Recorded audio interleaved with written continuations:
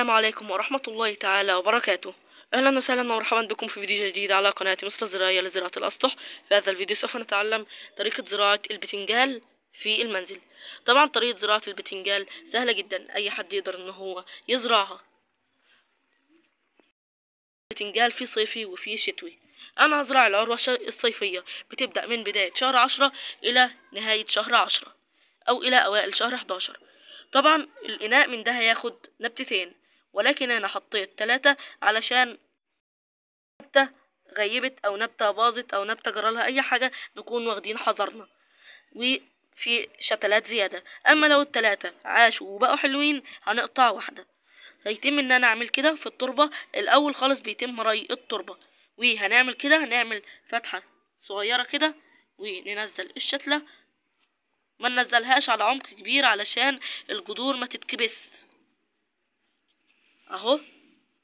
هنزرع اتنين قصاد بعض.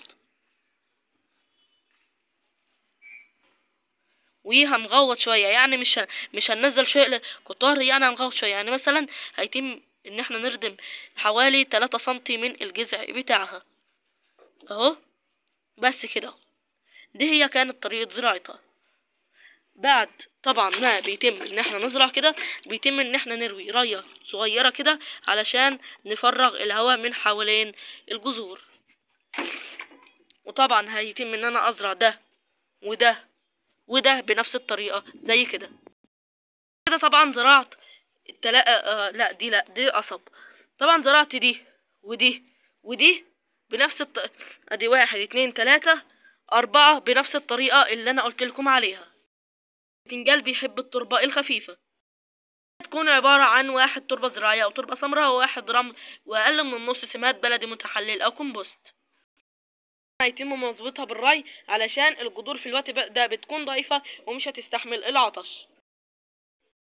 هي في الأول كده بيحصل لها حالة ذبول مؤقت ولكن بعد كده بيتم إن هي تنمو بشكل كبير. والتسميد طبعا بيكون بعد على الأقل خالص أسبوع أو أسبوعين من عملية الشكل بس كده ده كان فيديو النهارده. ولا تنسوا الاشتراك في القناة وتفعيل زر الجرس الرمادي ليصلكم كل جديد إن شاء الله.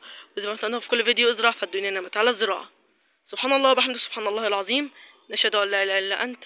نستغفرك ونتوب إليك. والسلام عليكم ورحمة الله تعالى وبركاته.